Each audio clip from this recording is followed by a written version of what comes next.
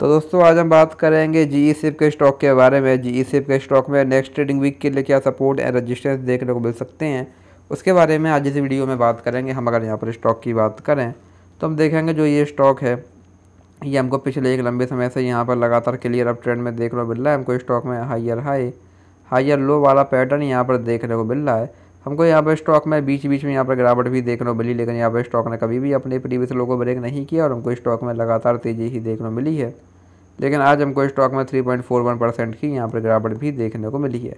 लेकिन यहाँ पर भी अच्छी बात यह है कि गिरावट के बाद भी जो ये स्टॉक है वो यहाँ पर अपने सपोर्ट लेवल के ऊपर बना हुआ है तो यहाँ से भी अगेन हमको स्टॉक में रिकवरी भी देखने को मिल सकती है। यहाँ से अगर अभी स्टॉक में रिकवरी आती है तो यहाँ सब रिकवरी की कंडीशन में हमारे पास स्टॉक है वन ज़ीरो सेवन थ्री का पहला यहाँ पर रजिस्टेंस देखने को मिलेगा।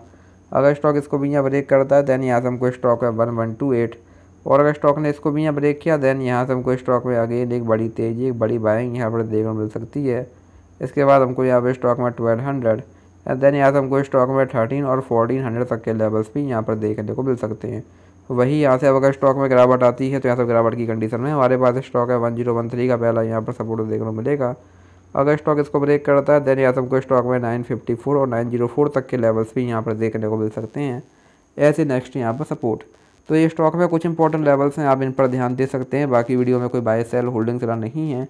वीडियो केवल एजुकेशनल पर्पज़ के लिए है। धन्यवाद।